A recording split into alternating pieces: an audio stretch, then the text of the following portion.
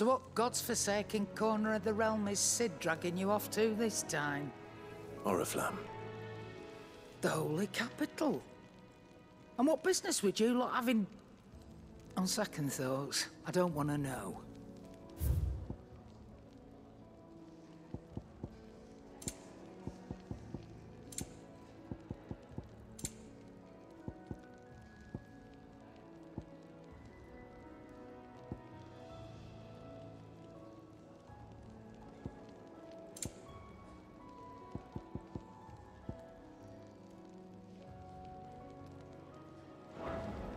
Speaking of Oriflamme, I hear the trading routes leading south have seen more than double the usual traffic.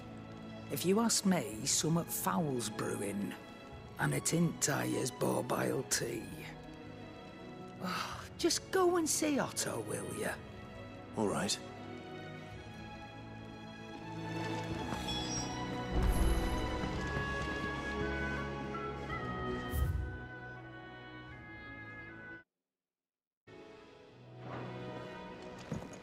Heard Otto barking at his lot earlier. Take a seat, Clive. So many uses. Good day. Or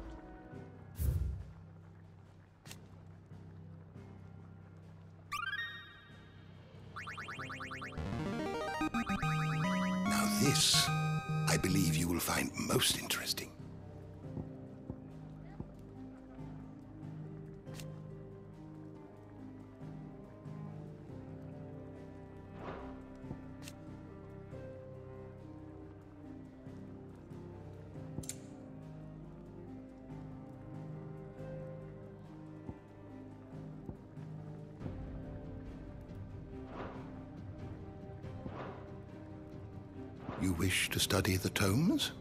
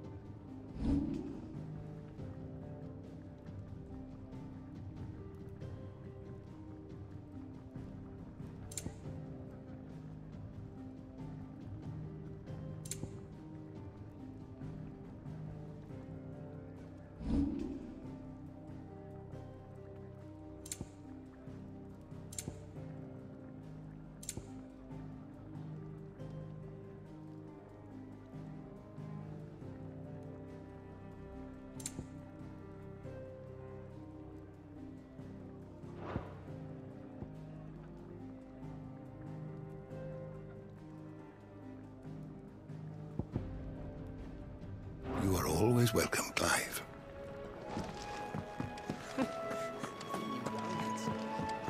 Do you need any help, uh, Miss Molly? Take a seat, Clive. I don't know.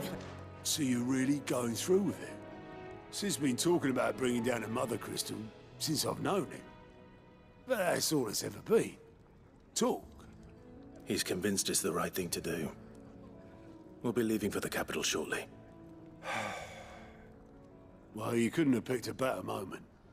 Seems the hiding the royalists gave him wasn't enough to dampen old Sylvestre's spirits.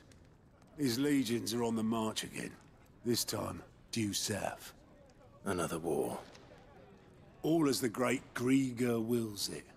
Bloodthirsty little miss, that one. That's God's for you, innit? Still, might work to our advantage on this occasion. Wars breed chaos. On the front lines, and at home. With a fair wind behind them, a handful of like-minded ne'er-do-wells could melt into the back alleys of Oriflamme. No trouble. It's making it to the capital that's the problem. The checkpoint. That's right. Anyone travelling in or out of Oriflamme has to go through Northreach. Lucky for you, I might just know of a way. Yes. Well, no, not that. That gets you an audience with the Dame. And it's the Dame who'll see you safely through Northreach. I'll send the Stolas in the morning. Let her know you're coming. We go way back. And she's a true friend of the cause. I'm sure you'll get on like a house on fire. That's good of you, but... Who is this dame, and where will I find her? She's the proud proprietress of Northreach's foremost house of ill repute. The Vale. And she's quite a woman, if you know what I mean. A woman. Right. Don't go blinding her with your charm now, lad. I'll be expecting a full report when you get back.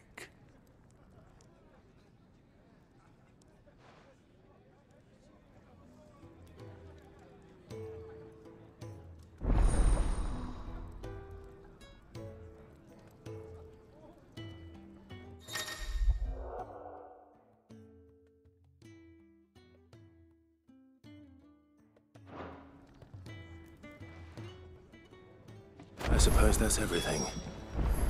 Now to find Gav. Oh, you're the new lad, aren't you? Goetz at your service. Well, at the hideaway service, anyway. Otto's put me in charge of reading through the reports sent in by our allies and picking out any problems that might warrant the attention of the curse breakers. Or any other willing volunteers. And there's no shortage of problems, I can tell you. or maybe I don't have to. I'll warrant a strapping lad like you's got people begging him for help wherever you go.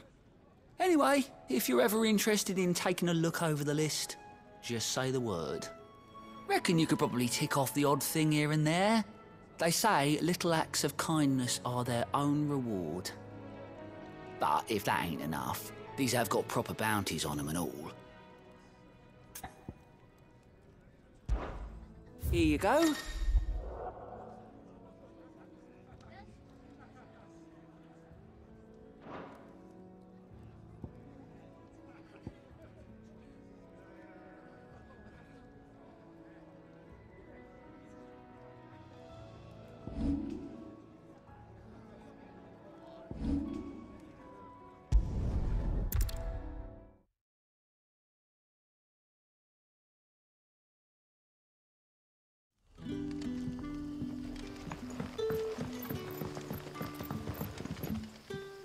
Ah, you're Sid's man, if I'm not mistaken.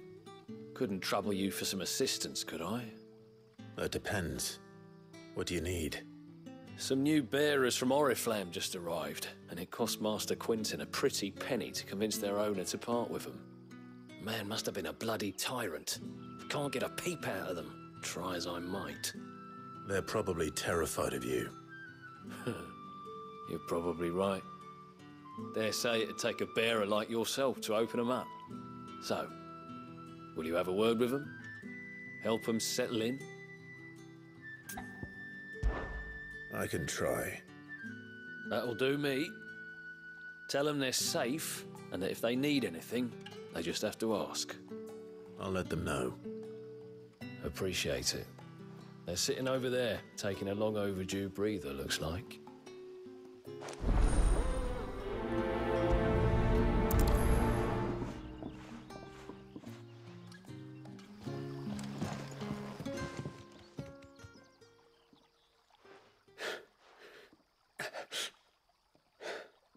So you're the new arrivals.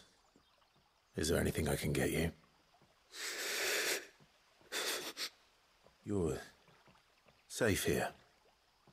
They don't punish people like us for speaking our minds. Truly. I'm hungry. My sister too, we're starving. Wait here. I'll fetch you something from the tavern. Thank you. I won't be long. You stay here and rest.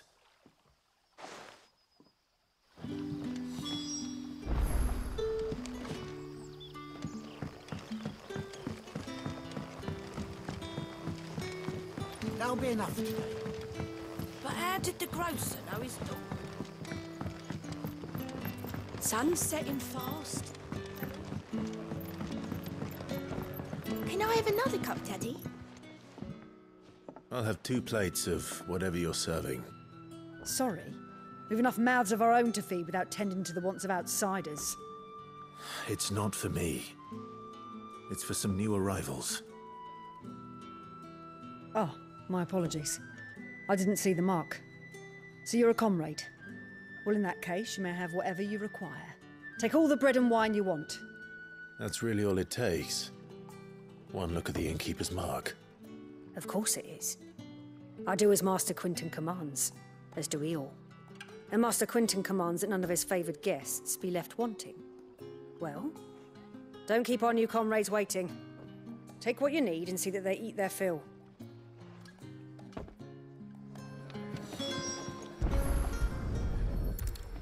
Bread and wine. Hopefully this'll be enough.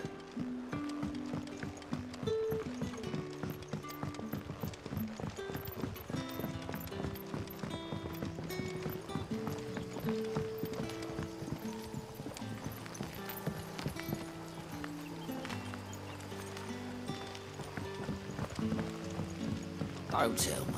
Turnips for supper. Brother, did you see?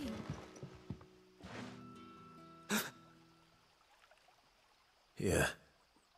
Bread and wine from the tavern.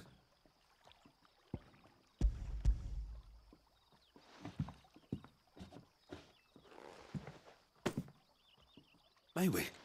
Truly?